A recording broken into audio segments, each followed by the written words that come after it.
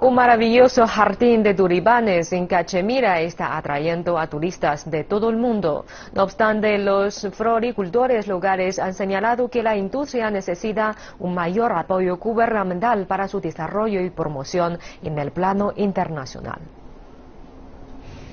Decenas de miles de tulipanes crean una explosión de colores en uno de los mayores jardines de estas flores en Asia.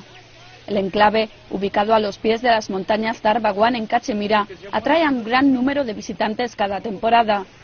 El lugar ofrece una espectacular vista de las hileras de tulipanes rojos, amarillos, rosas, blancos y azules sobre un fondo de picos montañosos. El jardín de tulipanes es impresionante, magnífico. No tenemos que ir a Holanda para verlo, pues ahora lo tenemos en nuestro propio país.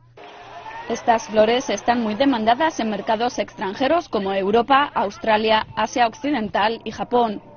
El joven emprendedor de Cachemira, Firdus Ahmad, señala que, a pesar de que el negocio de las flores tiene un alto potencial, solo unos pocos están invirtiendo en él como consecuencia de la falta de infraestructura.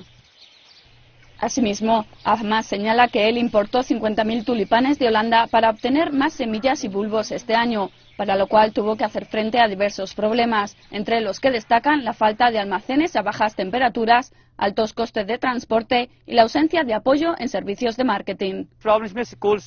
Si más jóvenes desempleados trabajaran con nosotros, podríamos promover la floricultura y enviar más flores a todo el país.